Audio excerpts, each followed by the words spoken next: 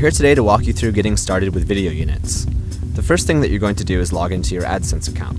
Once you're there, click on the AdSense Setup tab and you'll see that there's a new offering there called Video Units. When you click on the Video Units link, you're going to be taken to a page that explains the offering and gives you an overview of some of its great features. At the bottom, you'll click on a button that agrees to the terms and conditions and you'll be taken to the YouTube sign up page. Once you're there, you'll have to log in with your YouTube username and password. If you don't already have a YouTube username and password, you can sign up and become a member of the fastest growing internet video community. You'll need to have this account before moving forward. Once you've joined or logged in, you'll be taken to a page that asks you to submit your AdSense Publisher ID, the last five numbers in your phone number, and your zip code and email address. Once you've done that for your AdSense account, we'll actually merge your AdSense account with your YouTube account so that both of them are working together. The next page you'll land on is the new AdSense Player page. Since you don't yet have a player, you'll go ahead and click on the new AdSense Player button, which will take you to a page that allows you to build your own customized player for your website. The first thing you want to do on this page is enter in a new player name. You can also add a description in case you want to remember something in particular.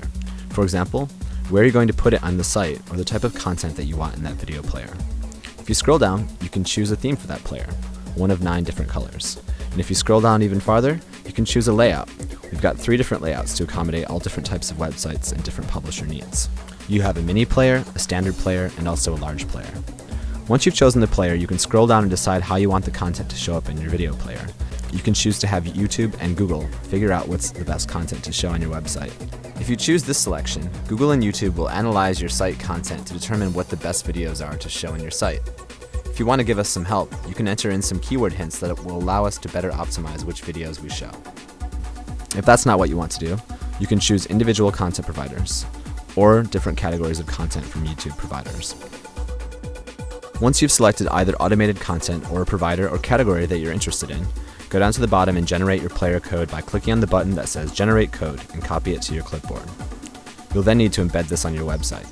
Once you're done, click the Finish button at the bottom and you'll have created your first new Video Units player.